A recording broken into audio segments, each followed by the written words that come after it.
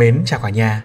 Trong ngày hôm nay chúng ta cùng nhau đọc cái phần 4 là hành trang cần chuẩn bị trước khi buôn trứng và những định hướng đầu tư một cách cơ bản nhất nhé. Đây là một phần 4 trong chương 2 của cuốn sách một vạn câu hỏi vì sao về chứng khoán của Cú Thông Thái nhé. Các bạn có thể tìm thấy bản PDF trong cái phần mô tả của video. Và nếu mà chúng ta cảm thấy video hữu ích, cảm thấy rằng video này giúp ích được cho chúng ta cũng như là bạn bè của chúng ta thì chúng ta hãy like và share và chia sẻ video cho Cú nhé. Trong phần này thì chúng ta sẽ cùng nhau nói về những cách là mở tài khoản, một số câu hỏi rất là đơn giản, vỡ lòng giống như là việc giữ tiền ở công ty chứng khoán ra làm sao hay là chúng ta là sinh viên, chúng ta đang đi học và đi làm, vừa đi học vừa đi làm thêm và chúng ta lại muốn đầu tư nữa thì làm thế nào? Hay là chúng ta muốn đầu tư cho con còn nhỏ hay chúng ta có một số anh chị đã ở tuổi chuẩn bị về hưu rồi có công việc ổn định ở công ty nước ngoài rồi, thì liệu là đầu tư chứng khoán có nên không và nếu mà nên thì đầu tư ra làm sao cho nó hiệu quả nhất nhé câu đầu tiên trong chương này là câu 134 có bạn nói rằng là mọi người nói muốn đầu tư phải có tài khoản chứng khoán em mở tài khoản ở đâu ạ à?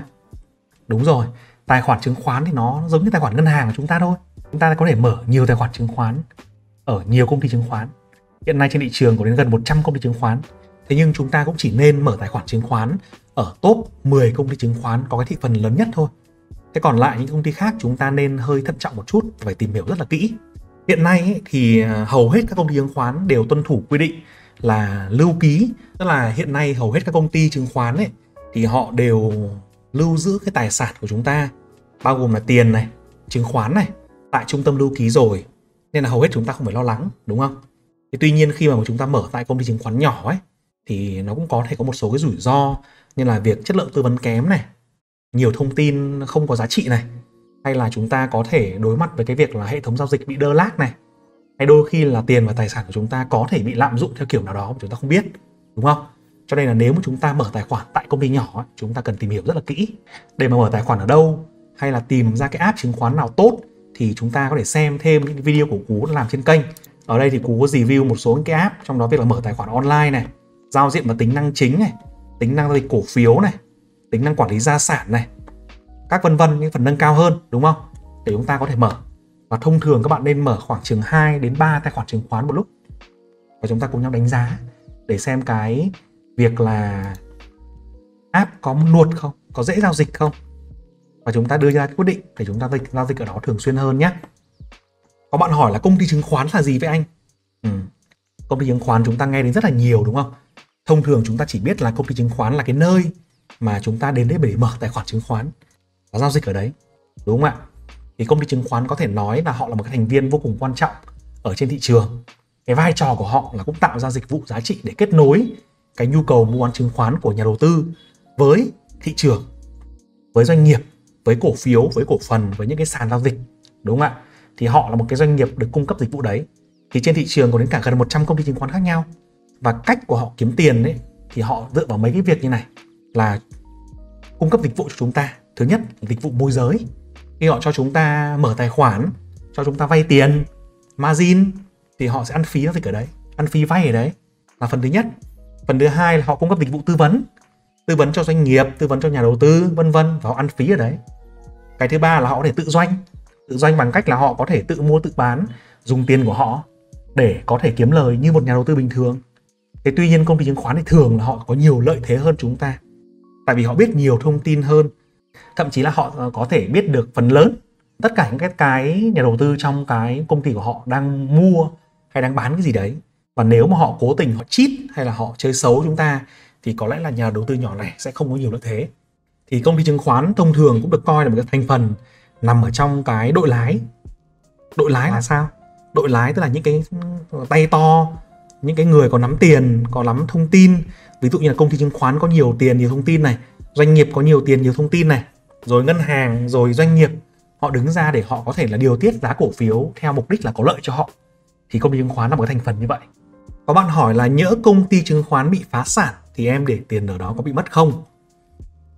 Đúng là ngày xưa ấy, cách đây khoảng chừng à, 10 năm tức là năm 2015 đổi trước thì thông thường một số công ty chứng khoán có xảy ra cái việc là phá sản và lãnh đạo công ty chứng khoán nó bùng tiền rồi mang tiền của nhà đầu tư đi mất.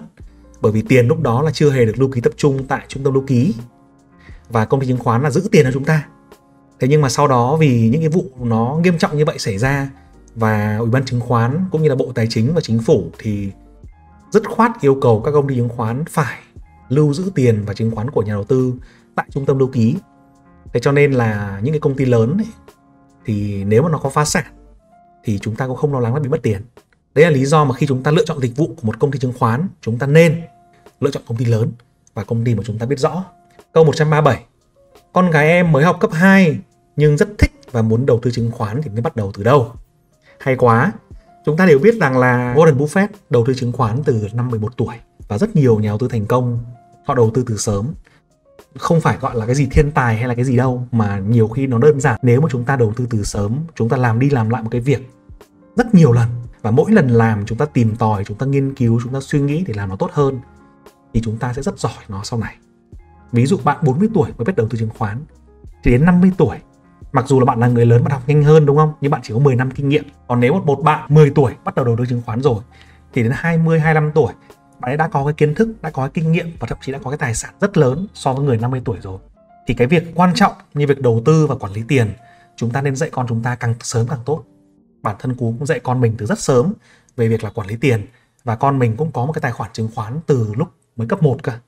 Từ lúc lớp 3 thì mở mình đã mở cho rồi và bỏ những cái tiền à, của bạn ý ví dụ như là tiền bạn ấy kiếm được từ việc là kinh doanh riêng của bạn ấy nhỏ nhỏ, hay là từ việc mà bạn ấy à, được được mừng tuổi được cho tiền, hay thỉnh thoảng mình cho những làm những việc nhà và mình thưởng, và những cái tiền đó đã được mang đi để đầu tư rồi. Và khi bạn ấy cũng làm quen dần, bạn ấy cũng biết là mã VN30 là bao gồm những mã nào chẳng hạn, thì đấy là những cái thứ mà chúng ta nên dạy cho con mình từ sớm. Bởi vì nó là một cái kỹ năng vô cùng quan trọng và nó đi cùng con mình cả đời. Thế thì hai cái thứ mà con bạn sẽ được hưởng lợi ngay lúc đầu ấy, một là cái kiến thức về tiền bạc, về tài chính, giúp ích cho con mình rất là nhiều ngay từ đầu và cái thứ hai nó chính là cái lãi suất kép. Lãi suất kép thì nó không có gì ghê gớm trong thời gian ngắn cả. Ví dụ 3 năm 5 năm thì không có gì ghê gớm cả. Nhưng mà nếu chúng ta để sau khoảng chừng 10 năm trở lên ấy thì lãi suất kép nó tăng kinh khủng khiếp. Ví dụ như là một khoản tiền chúng ta chỉ cần lãi suất kép khoảng chừng 20% thôi thì sau khoảng chừng 12 năm thì nó tăng gấp 10 lần so với, so với vốn góp ban đầu rồi. Gấp 10 lần nhé. Đúng không ạ? Vậy thì nhưng mà nó cần thời gian và cái thời gian là cái mà những nhà đầu tư lớn tuổi những bạn mà biết về thị trường tài chính à, sau này là chúng ta không không có thời gian. Nhưng mà con của chúng ta là có thể có. Chúng ta phải bắt đầu với bé 500 ngàn một triệu một tháng hoặc là ít hơn cũng được nhưng mà nó sẽ rất là hiệu quả sau này. Thì các bạn có thể mở tài khoản cho con mình bằng cách là cho bé mượn chứng minh thư căn cước, căn cước công dân đúng không nào? Đấy hoặc là bạn có thể là mở những cái tiểu khoản. Vì công ty chứng khoán bây giờ nó có những cái tiểu khoản. Là tiểu khoản là mua hàng không margin, mua cổ phiếu không margin hoặc là mua cổ phiếu margin chẳng hạn, thì chúng ta có thể dùng tạm cái tiểu khoản đấy. Nhưng mình nghĩ tốt nhất là nên mở riêng cho bé một cái tài khoản. Thì sau đó khi mà bé đến tuổi lớn trưởng thành rồi, có căn cước công dân riêng rồi, thì bạn có thể làm thủ tục để chuyển cái chứng khoán sang và xong thế sau đó thì bạn có thể cho bạn đi xem một số bài học hướng dẫn cơ bản trên kênh của cú về cách đầu tư, cách chọn cổ phiếu. Nếu mà ban đầu bạn ấy bảo là ui rồi ôi, cái này nó khó hiểu quá. Thì bắt đầu bằng việc là quản lý tiền này hoặc là bắt đầu bằng việc là mua chứng chỉ quỹ thôi, đơn giản thôi. Nhưng mà sau đó thì sẽ phân tích và mua nhiều cổ phiếu khác nhau, đúng không nào? Đây ví dụ như là những cái series trên trang của cú có cái series về à, hướng dẫn đầu tư chứng khoán cơ bản này, rồi về tài chính cá nhân này, thì các bạn có thể cho các bạn đấy tùy vào từng độ tuổi để chúng ta xem những cái này nhé đúng không nào? Tuy nhiên thì cách tiếp cận, hãy nhớ rằng là để vui vẻ và thoải mái và tự nhiên nhất có thể. Có bạn sinh viên hỏi là anh có lời khuyên nào cho em là sinh viên đang đi học đầu tư không? Chúng ta là sinh viên đấy thì chúng ta đang ở một độ tuổi nó khám phá cuộc đời, tò mò về thế giới và có rất nhiều thứ chúng ta muốn tìm hiểu. Ví dụ như chúng ta đang muốn tìm hiểu về thương hiệu trà sữa mới, chúng ta muốn tìm hiểu về đồ hiệu, chúng ta muốn tìm hiểu về những bộ phim mới, về những cái thói quen, thú vui, học nhảy, học chơi, hay là rất nhiều, rất rất rất nhiều thứ trên đời này có thể hút tiền của chúng ta. Thế tuy nhiên thì những cái thứ đó là những cái thứ bòn rút tiền của anh em, chứ nó không mang lại cho chúng ta nhiều, quá nhiều giá trị chúng ta có thể hưởng thụ nó, nhưng hãy tiết chế nó lại. Có thể một tháng một lần, một quý một lần, những khoản to lớn thì một năm một lần. Hoặc chúng ta đưa ra một cái mục tiêu cho mình rằng là chúng ta nên hưởng thụ khi mà chúng ta kiếm ra tiền. Còn những khoản chi tiêu hàng ngày nếu bố mẹ chỉ cho từng đấy, nếu ngân sách chỉ có từng đấy thì đừng có đừng có chi tiêu quá tay. Đúng không nào? Thì bạn chỉ cần tích lũy một khoản 500 nghìn hoặc một triệu đồng một tháng thì bạn đã bắt đầu có thể đầu tư được rồi những khoản nhỏ hơn có nhiều app fintech có thể cho chúng ta đầu tư là 50 nghìn, 10 nghìn, 100 nghìn đều có thì bạn đều có thể thử nghiệm. Hãy bắt đầu với thứ nhỏ thôi. Đừng nghĩ ghê gớm quá để tạo ra cho mình một cái thói quen. Và thói quen tốt nó sẽ mang lại cho bạn cái thành quả tuyệt vời trong tương lai. Chứ chúng ta cứ bảo rằng thôi em bây giờ em chưa có tiền đâu em chưa muốn đầu tư đợi có quả nào đó em đầu tư. Thế thì cái quả đấy có thể nó sẽ không bao giờ đến. Thế nhưng mà một thói quen tốt với chỉ 500 nghìn một tháng hoặc là một triệu đồng một tháng, nếu nó được thực hành liên tục liên tục liên tục, thì sau 5 năm, bạn có thể đã cái quả nào rất là to rồi, chứ không cần đợi cái gì hết. Thế sau đó thì chúng ta phải xem thêm những cái video về hướng dẫn đầu tư chứng khoán chỉ với 500 nghìn đồng cho sinh viên và người mới làm trên kênh của Cú. Là cái video này này. Đấy. Có rất nhiều video khác trên kênh mà các bạn có thể xem thêm nhé hoặc là chúng ta bấm nút nút save, bấm lưu lại, share nó về tường của mình để xem sau này. Ok chưa? Câu 139 có bạn hỏi là em là người đã đi làm, có gia đình, muốn đầu tư chứng khoán thì phải làm như nào? Khi mà chúng ta là người đã đi làm ấy, chúng ta có gia đình ấy, thì chúng ta có rất nhiều trách nhiệm. Đúng không nào? Chúng ta nhớ hồi sinh viên, hồi thanh niên ấy, chúng ta chết đi sống lại, chúng ta mất hết tiền chúng ta làm lại. Chúng ta có thể chấp nhận những cái sự kiện, chấp nhận những cái công việc hoặc là khoản đầu tư cực kỳ rủi ro, nhưng mà chúng ta cảm, chả cảm thấy sợ hãi gì cả. Bởi vì bản thân chúng ta hôm trước thì ăn phở hôm sau thì ăn hải sản tôm hùm, hôm sau nữa trắng tay ăn mì tôm vẫn được. Còn trắng tay nữa đi về nhà là bố mẹ nuôi. Đúng không? Thế nhưng mà khi mà chúng ta đã có gia đình rồi, đã có vợ, đã có con con thì không thể dừng tiêu tiền được. Vì cuộc sống bây giờ nó cần rất nhiều chi phí, tiền ăn, tiền uống, tiền học. Vợ cũng thế.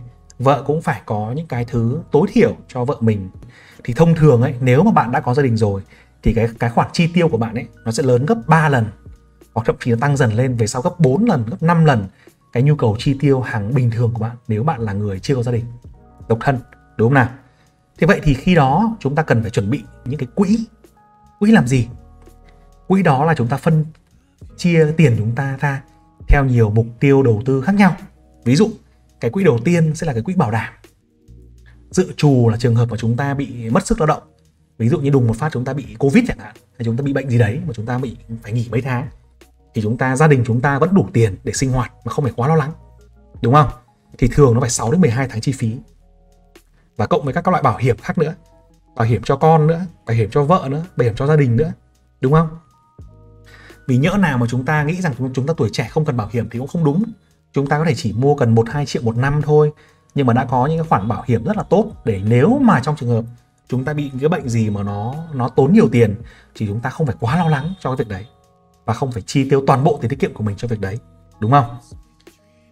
Cái quỹ thứ hai liên quan đến là cái quỹ hưu trí. Quỹ hưu trí là gì? Em vừa mới lập gia đình vừa cưới vợ đẻ con con em bé tí này. Em đang tuổi sung sức 25 30 sẽ lại hưu, hưu trí cái gì hả anh?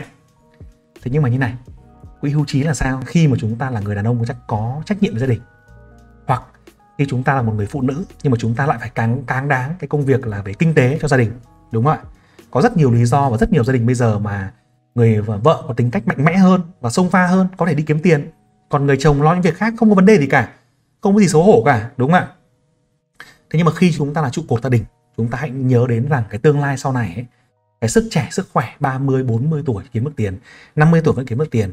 Nhưng mà 60, 70 tuổi rồi Có thể sức khỏe nó đi xuống Chúng ta không có khả năng kiếm tiền thì sao? Mà chúng ta nhớ rằng ấy, khi chúng ta già rồi Cái nhu cầu chi tiêu nó không có giảm đâu. Chúng ta còn tiền chữa bệnh này còn tiền đi massage đi bấm huyệt các kiểu. Rồi chúng ta phải chi tiêu cho con cái rồi những cái nhu cầu cá nhân của hai vợ chồng. Rồi thỉnh thoảng cũng phải đi chơi rất nhiều vấn đề. Bởi vì nghỉ hưu nó chỉ là một cái thứ để mở ra chúng ta một cái chặng đường mới của cuộc đời thôi. Chứ không phải nghỉ hưu là kết thúc và đóng mọi cái, cửa, cái cánh cửa cuộc sống lại không đúng. Đúng không? Thế vậy chúng ta sẽ phải có một cái quỹ là quỹ hưu trí. Mỗi tháng trích ra một hai triệu để dành cho quỹ đó. Thì quỹ đó đầu tư vào những thứ an toàn những thứ lâu dài và chúng ta đầu tư liên tục trong 30 năm 50 năm, thì sau này chúng ta sẽ có một cái tuổi hưu rất là an toàn. Đúng không ạ? Và cái quỹ thứ ba nữa của chúng ta là gì? Là chúng ta cần đầu tư để tăng trưởng tài sản.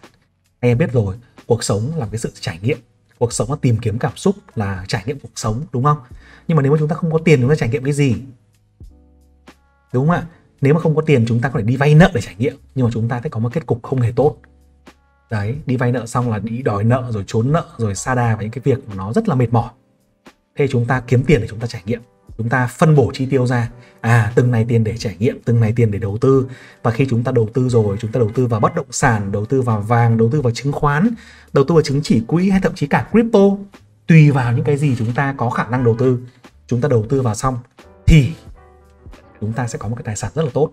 Thế thì những cái phần này cú đã có một cái series về tài chính cá nhân trong này những cái theo dõi chi tiêu, quỹ bảo đảm mục tiêu tài chính, thì cũng hy vọng rằng anh em chúng ta có thể bắt đầu bằng cái việc là chúng ta hạch toán ra cái nhu cầu chi tiêu của mình, tài sản của mình có những cái gì, và sau đó chúng ta sẽ buộc phân bổ tiền vào đấy nhé có một à, anh hay là chị hỏi là giờ tôi đã hơn 50 tuổi rồi, tôi làm ở công ty nước ngoài nhưng cũng cảm thấy áp lực. Tôi muốn đầu tư chứng khoán để tiền sinh lời tốt hơn gửi ngân hàng, thì nên làm gì thế?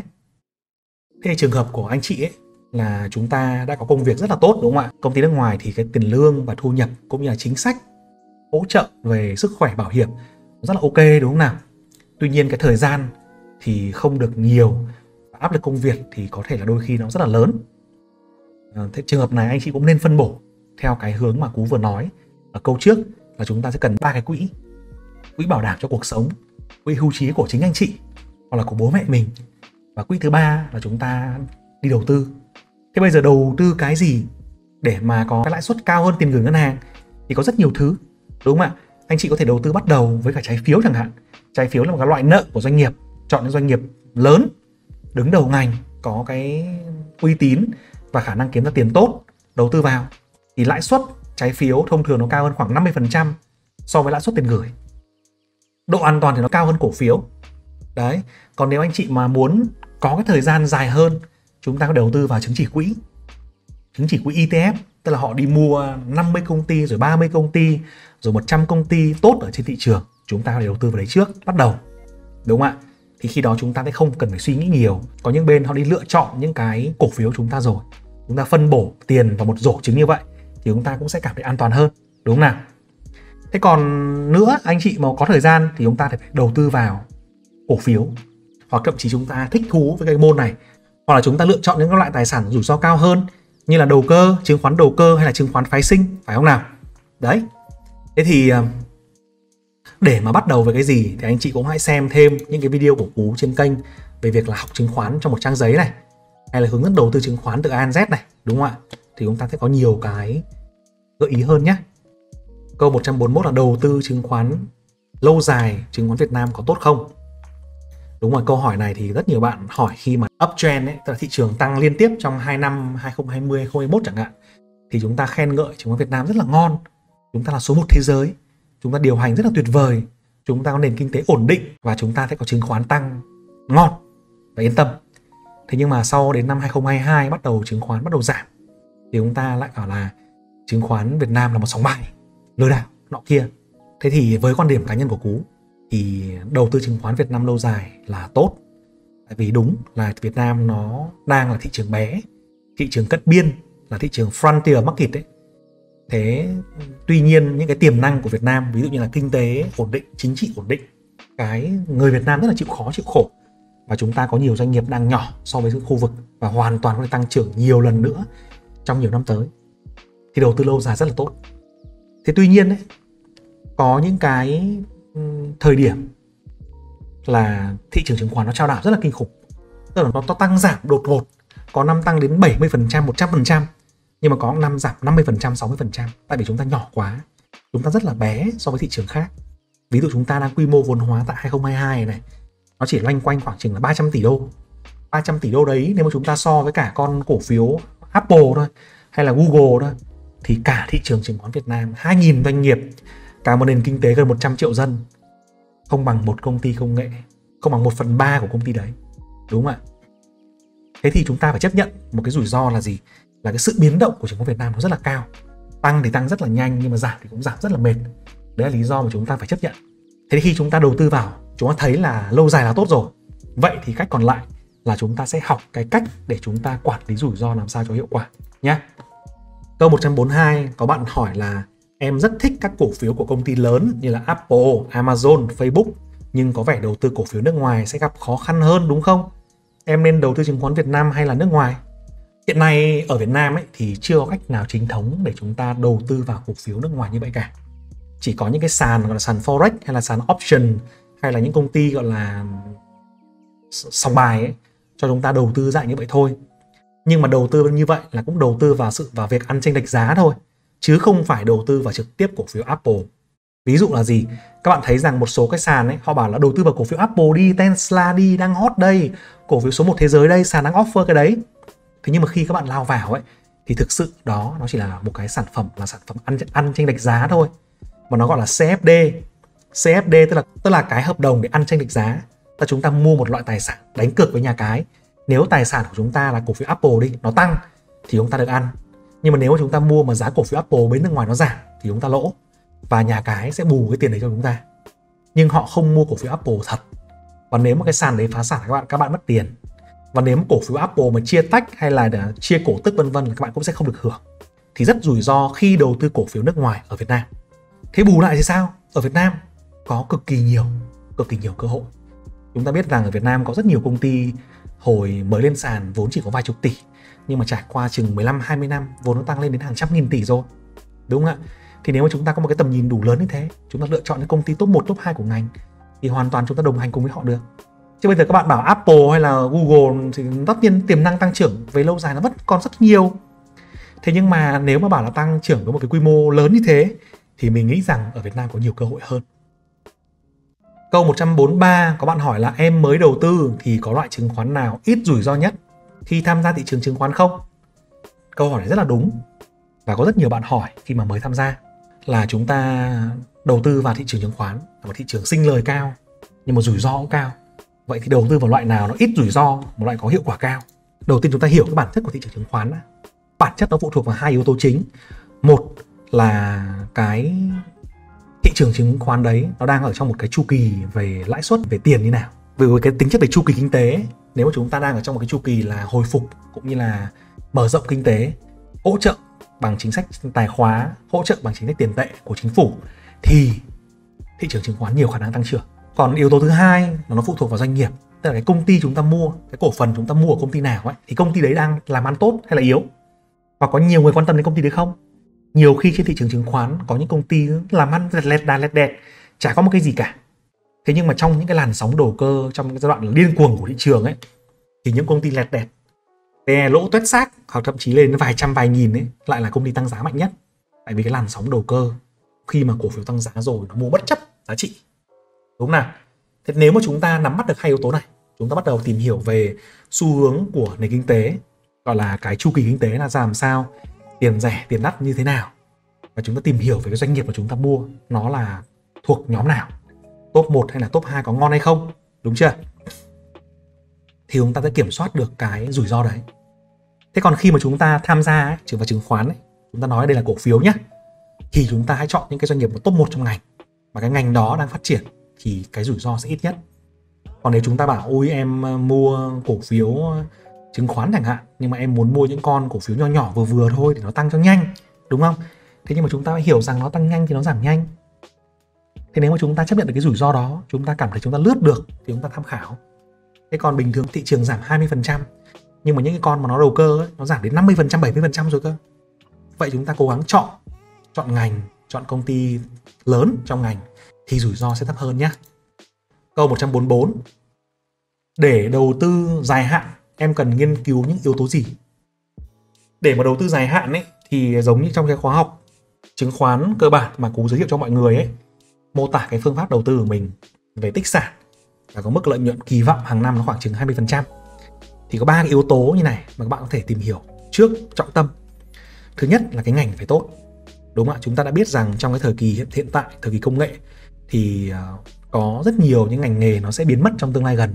Ví dụ như là ngành bưu chính chẳng hạn. Ngành bưu điện ngày xưa rất là ghê nhưng bây giờ thì họ chuyển sang những công ty giao hàng chứ không còn giao qua bưu điện nhiều nữa. Giao hàng tại vì nó nhanh hơn hay là ngành taxi. Ngành taxi ngày xưa cũng rất là ngon Mai Linh Villa Sun đúng không? Nhưng mà đến bây giờ thì Grab, Uber rồi Bi nó chiếm hết thị phần. Thì khi mà chúng ta chọn ấy, chúng ta cần phải có một cái sự phân tích về ngành. Những ngành mà có xu hướng tăng trưởng tốt trong 5 đến 10 năm nữa. Thứ hai là chúng ta chọn cổ phiếu. Cổ phiếu cũng cần phải tốt trong 5 đến 10 năm nữa. Sao lại thế? Chọn được ngành rồi, nó giống như chúng ta chọn được một cái con sông êm đềm, một con sông màu mỡ để chúng ta câu cá đúng không nào. Thế trong con sông đó nó có rất nhiều loại sinh vật. Có con cá hồi có con cá gọi là cá lăng to đùng béo ngậy. Chúng ta cố một câu nó. Chứ chúng ta lại toàn đi câu những con cá lòng tong những con cá ờ, vớ va vớ vẩn bơi xung quanh ấy. Thì chúng ta không thể có lợi nhuận nhiều được. Chúng ta chú ý là chọn những con cổ phiếu ngon trong cái cảnh đấy. Cái thứ ba nữa là chúng ta cần chú ý một thứ là gì? Là trong thị trường chứng khoán ấy, mặc dù chúng ta biết rằng là chúng ta nghĩ rằng là chúng ta đầu tư vì logic chúng ta mua cổ phiếu vì logic nhưng thực tế khi mà đầu tư ấy, thì yếu tố tâm lý ảnh hưởng rất nhiều. Tại sao ạ? Chúng ta thường có yếu tố tâm lý là mong giàu nhanh chẳng hạn. Mong giàu nhanh là gì? Là chúng ta muốn bỏ vào một tỷ cuối năm phải thu về tỷ rưỡi cơ. Chứ mà bảo là cuối năm thu về tỷ mốt tới tỷ hai thì nhạt miệng quá. Thu về tỷ ba cũng không hài lòng. Cuối năm phải thu về 2 tỷ mới hài lòng. Và thế là chúng ta tự ép mình tự đẩy mình vào những cuộc chơi nó rủi ro cao hơn. Đúng không ạ? Thế rồi chúng ta lại càng dễ mắc sai lầm sau đó. Mua sai rất dễ bán sai. Và cứ thế cứ thế cứ thế. Ban đầu lúc vào thị trường chỉ nghĩ rằng là mình muốn vào thị trường để kiếm 15% một năm thôi. Cao hơn tiết kiệm là ngon rồi. Nhưng mà vừa vào thị trường xong lại được các à, bạn môi giới ừ, tím vào group VIP. Trong group VIP đấy thì hôm nay mua, ngày mai bán, cứ mỗi sóng ăn 50% bảo chị ơi, từ giờ đến cuối năm chắc phải được 300% chị ạ. Thế là thôi, phi vào. Thì chúng ta thành con bạc. Thì cái đấy phải hết sức chú ý mặc dù thị trường chứng khoán nó rất là logic, thị trường chứng khoán đôi khi nó rất là phi lý, nhưng con người chúng ta phi lý hơn rất là nhiều. Đúng không ạ? Và bạn cần phải quản lý được cái đấy thì bạn sẽ thành công. Học sinh sinh viên, người mới đi làm thì nên đầu tư chứng khoán như thế nào vậy? Đầu tư chứng khoán như thế nào là chúng ta mở tài khoản, chúng ta nộp tiền vào, chúng ta mua thôi chứ, đúng không? Có cái gì đâu mà mà phải đầu tư như thế nào? Thế bây giờ đầu tư chứng khoán thì nó có rất nhiều loại hình đồ loại hình tài sản đầu tư. Bạn mua trái phiếu này mua chứng chỉ quỹ này hay bạn mua cổ phiếu trực tiếp này đúng không? Thì có rất nhiều thứ mà bạn có thể bắt đầu. Ví dụ như bạn mở một cái tài khoản đây trong cái link này cú để đây. Đúng không nào? Thì sau đó thì bạn à, mua bắt đầu thôi với 10.000 thôi. Bỏ 10.000 vào. 100.000 đi cho nó oách 10.000 bây giờ mua được gì? Nhưng mà cái app của TCBS này, này nó cho bạn mua chứng chỉ quỹ từ 10.000 trở đi. Chúng ta thử nghiệm đúng không nào? Chúng mở một cái tài khoản đây. Bỏ 100.000 vào và mua 10.000 10.000 chứng chỉ quỹ. Và xem chứng chỉ quỹ nó tăng giảm ra làm sao. Trong cái app này chẳng hạn, nó có rất nhiều những cái tính năng về cổ phiếu, về phân tích, xem xét nọ kia để chúng ta chúng ta xem nhá. Thì đấy là cách bắt đầu tốt nhất. Ok chưa? Câu 146 anh có lời khuyên nào dành cho nhà đầu tư cơ bản, nhà đầu tư giá trị, nhà đầu tư có mục tiêu dài hạn trong trường hợp thị trường giảm liên tục trong các phiên không? Rồi, cái này thì cũng rất là đau đầu đúng không nào? Chúng ta mua cổ phiếu, chúng ta có tầm nhìn 5 năm 10 năm. Nhưng mà chúng ta vừa mua xong phát cổ phiếu rất 10% Buột vai. Đấy. Bỏ ra 1 tỷ mua cổ phiếu dự kiến 10 năm. Vừa mua xong nhìn tài khoản còn có 900 triệu. Thế hôm sau nhìn nó lắc la, lắc lư, nó về còn có 850 triệu. Bút đầu bút óc. Và không hiểu ờ, cổ phiếu thông tin tốt càng ra thì càng bán, càng bị xả thế đôi khi những cái thời điểm ở thị trường nó điều chỉnh giảm, mấy tháng sau nhìn vào nó còn có về có 500 triệu đúng không ạ? Thế thì cái điều này nó cũng thường xuyên xảy ra, mà không chỉ với cả người mới đâu, mà với cả những cái người mà ra gạo cội rồi cũng thế. Bởi vì sao ạ? Bởi vì thị trường trong dài hạn thì nó có lý, nhưng mà trong ngắn hạn thì nó phi lý. Trong ngắn hạn nó có thể giảm 50% 70% chỉ trong vài tháng. Mặc dù là doanh nghiệp chúng ta làm ăn vẫn thế, mặc dù là xuống thị trường thì nó có xấu, nhưng nó không đến mức xấu như thế. Bởi vì thị trường chứng khoán trong ngắn hạn nó phản ánh nhiều thứ lắm nó phản ánh tâm lý của nhà đầu tư, nó phản ánh kỳ vọng của nhà đầu tư, nó phản ánh cái nhu cầu thanh khoản, nhu cầu mua mua bán bán trên thị trường của hàng triệu nhà đầu tư, thì điều đó là rất là khó để dự đoán. Vậy thì nếu chúng ta là nhà đầu tư cơ bản ấy, nhà đầu tư giá trị và mục tiêu dài hạn ấy, chúng ta hãy tập trung vào cái việc là gì? Là tìm ra ngành nghề tốt, ngon lành, tìm ra cổ phiếu ngon lành tốt trong ngành nghề đấy và dùng cái dòng tiền nhàn rỗi để chúng ta mua. Và cái cách để chúng ta tránh khỏi cái tình trạng này, chúng ta nên mua giải ra, mua đều ví dụ hàng tháng dùng tiền nhàn rỗi để mua. Ví dụ chúng ta có có nhiều tiền, chúng ta bỏ ra chúng ta mua trong một năm hoặc mua trong nửa năm, đúng không? Còn trừ khi mà các bạn phải là một nhà đầu tư cực kỳ giỏi, cực kỳ xanh sỏi rồi, thì bạn mới có thể là bạn mua nó một cục và một lúc được. Đúng không nào? Thế còn thị trường một điều chỉnh ấy, thì chúng ta sẽ có hai lựa chọn. Một là nếu mà thị trường nó có khả năng rơi vào khủng hoảng và chúng ta thấy rằng là cái nhu cầu nó lại, và chúng ta thấy rằng là cái khả năng giảm tiếp 5 60% là có thì bạn hoàn toàn bạn có thể bán bớt đi. Bán bớt một phần đi để bạn cơ cấu danh mục. Và sau đó chúng ta sẽ đi theo chiến lược là tích lũy dần hàng tháng, đúng không? Và sau đó mua lại sau. hoặc là chúng ta chờ hẳn xuống chúng ta mua nhưng mà thực sự là cái việc mà đoán đáy thì nó vô cùng khó giống như là cú có nói mọi người ấy, là đáy ở trong váy ấy. cái lúc nào mà mình nghĩ rằng là thị trường đang gần đáy rồi nó tát cho mình phát vào mồm và những cái chu kỳ mà đáy ấy, thì thông thường nó cũng kéo dài đôi khi là trung bình là khoảng chừng 10 tháng chu kỳ ngắn thì 6 tháng. Nhưng mà những chu kỳ dài từ 1 năm đến 2 năm thì chúng ta nên có sự chuẩn bị, nên có cái sự là ý thức được rằng chu kỳ giảm nó khoảng đó, đúng không nào? Nhưng còn cái chu kỳ mà nó nó tăng trưởng ấy, ví dụ cái chu kỳ tăng trưởng ấy, thì thông thường nó sẽ kéo dài hơn. Chu kỳ mà kinh tế bùng nổ, expansion này, hay là economic expansion ấy, thì thường là cái chu kỳ tăng trưởng nó sẽ kéo dài hơn khoảng từ gấp đôi đến gấp 3 lần cái chu kỳ giảm giá. Ok chưa? Rồi, câu 147 có bạn hỏi là, anh ơi, em đang chơi đầu tư lướt sóng. Nếu thị trường giảm liên tục trong các phiên thì có lưu ý gì không? Em chơi lướt sóng mà nó giảm liên tục trong các phiên thì kệ nó như sao, đúng không? Vì lướt sóng chúng ta càng có nhiều sóng chúng ta càng sướng mà, đúng không nào? Nhưng bản chất lướt sóng ấy, cái hình thức lướt sóng là chúng ta rất là khác đầu tư dài hạn. Khác ở chỗ nào? Khác ở chỗ là cái bố dài hạn ở trên này này. Thì bố tập trung vào việc là tìm kiếm doanh nghiệp ngon, ngành nghề ngon và bố dùng tiền nhắn rỗi để bố mua và bối đợi doanh nghiệp đấy làm ăn sinh lời chứng minh được hiệu quả của nó so với thị trường. Và chu kỳ thường nó sẽ dài. Thế còn bố đầu tư lướt sóng ấy là bố tập trung vào những cái điểm bất hợp lý của thị trường trong ngắn hạn. Trong ngắn hạn thì nó có dòng tiền nó có cảm xúc nó có thông tin đúng không? Chúng ta tập trung khai thác cái đấy. Và cái ông ông của đầu cơ ấy ông phải có một cái khả năng quản lý rủi ro cực kỳ cao. Chứ không là đứt. Tòi luôn. Đấy. Thì nếu mà chúng ta lướt sóng ấy, thì thị trường giảm liên tục thì bạn sọt sell đi bạn sọt phái sinh, hoặc là bạn đi sọt những cái hàng mà vay ở kho bạn bạn sọt ấy, thì hoàn toàn kiếm lời ngon mà, đúng không? Vấn đề ở chỗ đầu cơ là chúng ta chỉ cần phán đoán được xu hướng thị trường thôi. Còn lên cũng được, xuống cũng được, chả quan trọng gì cả. Đúng không nào? Câu 148 anh ơi, mới chơi chứng khoán thì thường sẽ mắc phải những sai lầm gì? Thì chúng ta tập đi bị ngã đau, mắc sai lầm. Vì bước không vững, không định hướng được trọng tâm chúng ta tập xe đạp xe máy hay chúng ta làm bất kỳ điều gì cũng thế cũng đều có cái cái cú ngã. Thế tuy nhiên ấy, trong chứng khoán ấy, nếu mà chúng ta học được từ những cái sai lầm của người khác càng sớm thì chúng ta càng mắc ít sai lầm hơn và chúng ta càng mất ít tiền hơn. Đúng không nào? Thì thông thường ấy những cái sai lầm của chúng ta mới vào thị trường chúng ta không có phương pháp gì cả. Và phát là mua bán theo cảm tính. Chẳng nắm được định nghĩa cơ bản về chứng khoán chẳng biết con của mình kinh doanh cái gì nó có nội tại ra làm sao nó có gì hay so với thị trường mà mua bán theo người khác. Đúng không ạ? Rồi tất tay một mã cổ phiếu, ngay con nào đấy tất tay luôn. Đúng không ạ? Hay là có những cái thứ mà cú đang để trong cái video về à, 5 nguyên nhân cháy tài khoản của một trader ấy. các bạn có thể xem thêm cái này. Có rất nhiều sai lầm của chúng ta, thậm chí chúng ta giao dịch khi mà chúng ta không tỉnh táo. Chúng ta mua mua bán bán bán theo cảm xúc rất là nhiều. Đấy là cái thứ mà chúng ta có thể bị dính vào khi mà chúng ta mới vào thị trường nhưng mà điều quan trọng ấy là sau cú ngã đấy, chúng ta học được cái điều gì đấy. Chúng ta ghi vào nhật ký giao dịch, chúng ta ghi nhớ nó và chúng ta học được để lần sau rút kinh nghiệm nhé thì đừng sợ hãi sai lầm, miễn là đừng có ngã đau quá để cháy tài khoản. Sai lầm là điều mà luôn luôn ai cũng có, nhưng hãy hạn chế rủi ro.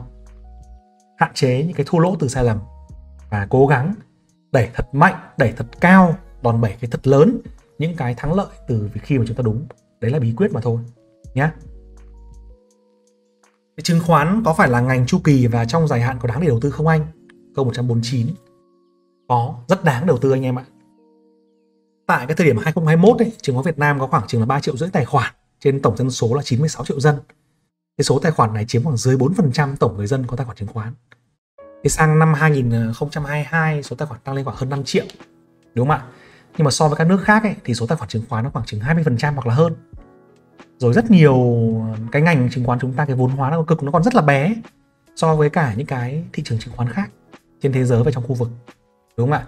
hay là cái thị trường chứng khoán ở Việt Nam hiện tại, cái sản phẩm nó còn đang rất là ít về sản phẩm đầu tư, chứng chỉ quỹ quỹ trái phiếu, vân vân, nó còn đang rất là ít và có nhiều cơ hội phát triển thế thì cái ngành chứng khoán ấy là trong dài hạn ấy là một ngành cực kỳ tiềm năng và chúng ta mua cổ phiếu chứng khoán cũng là mua những cổ phiếu của những công ty tốt ở trong một ngành tốt có điều chúng ta chọn được cái công ty nào phù hợp công ty nào ngon mà thôi. Thế nhưng mà ngành chứng khoán chúng ta nhớ ấy, là một ngành có tính chu kỳ. Chu kỳ là gì? Là khi mà kinh tế phát triển thị trường bắt đầu đi lên từ đáy ấy, thì cổ phiếu của những công ty chứng khoán của ngành chứng khoán nó tăng rất là ghê. Ngành khác tăng một nó phải nó phải tăng hai. Tại vì sao? Tại vì tiền bơm ra tín túc bơm ra rồi nhà đầu tư giao dịch nhiều cổ phiếu tăng thì nó ăn từ việc phí giao dịch ăn từ phí vay ăn từ việc tự doanh và cổ phiếu được hưởng lợi tăng theo. Đúng không? Tăng trong cả chu kỳ rất là ghê người ta tăng, người ta tăng một thì con này tăng 2 tăng 3 thế nhưng mà khi mà chứng khoán đến đỉnh rồi và kinh tế bắt đầu co hẹp, thì bọn cổ phiếu chứng khoán nó rơi kinh khủng luôn. Tại vì khi đó nó đi ngược lại, theo chiều ngược lại. Tự doanh mua thì bị lỗ, phí giao dịch thì bị giảm, khách hàng thì bớt bớt đi vay margin các kiểu thì bị bớt đi, tiền huy động về không cho vay được. Chính vì vậy là mang tính chu kỳ rất là cao, đúng không ạ? Tức là ăn thì ăn rất là sốc, sập thì sập, rất là ghê. Thì chúng ta phải chú ý cái tính chu kỳ đấy. Là ok đúng không nào? Rồi, thì đấy là nội dung trong cái ngày hôm nay là về những cái hành trang đầu tư chứng khoán của chúng ta cần chuẩn bị những gì? Định hướng đầu tư cơ bản nhất, đúng không nào? Các bạn thấy video của cú mà có hữu ích cho bản thân mình hoặc bạn bè thì nhớ bấm like nhé, chia sẻ nó cho người thân của mình. Những ai muốn học chứng khoán một cách vui vẻ nhất, dễ chịu nhất, dễ hiểu nhất, đơn giản nhất nhé chúc các bạn sức khỏe.